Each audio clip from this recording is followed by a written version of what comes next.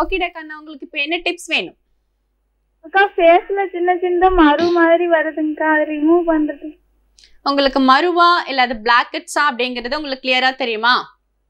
ஆ சரிங்கக்கா ஃபேஸ் கொஞ்சம் ஒய் ஃபேஸ்லாம் ஒயிட்டாக தாங்கக்கா இருக்கு அவத்த மட்டும் மறு மாதிரி வருதுங்கக்கா. ஓகேம்மா. இப்போ உங்க ஃபேஸ்ல மரு இருக்கு அந்த மருவை எப்படி நம்ம ரெடியூஸ் பண்ணலாம் அப்படின்னு பாத்தீங்கன்னா வீட்ல நீங்க யூஸ் பண்ணக்கூடிய சுண்ணா சுண்ணாம்பு இருக்கும் இல்லையா?